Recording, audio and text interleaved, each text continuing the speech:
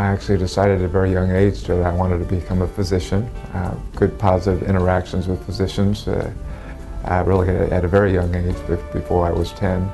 And something I sort of stuck with it as, as uh, I went through college and involved in sports and athletics, uh, nat natural gravitation towards uh, orthopedics.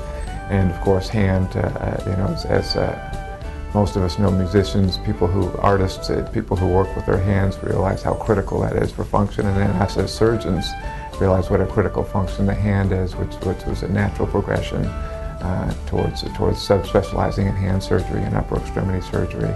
Um, and it's something that uh, I've never regretted a single day making that decision. Uh, I love what I do. Uh, my patients are, are, are, a pleasure to work with, and, and, everyone wants to get better. So uh, I would don't, don't regret a, a, single day making that decision. Well, I've, had, I've uh, had the opportunity to work with Holy Cross since 1999 when I first came out of training in Boston, uh, and it really has been uh, uh immediately coupled with a great group.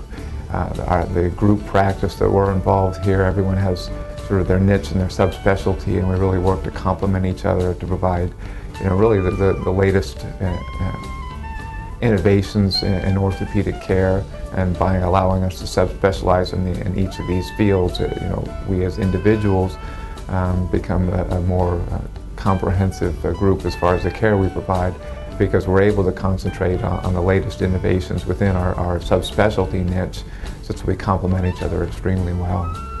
You know, Dr. Roche with the knees, uh, uh, Dr. Jackson myself with the upper extremity, Dr. Levy in the shoulder, it's just all these things uh, we, we mesh together and, and, by being in one location uh, we have immediate communication to, to provide the best possible care for our patients. Treat everyone like family. It just makes it so easy and that, that is truly one of the core values that the Holy Cross always has imparted is that, that you know our patients are, are they're our friends or our colleagues, they're an extension of our family and that makes it real easy. You treat everyone like family and uh, things work out great.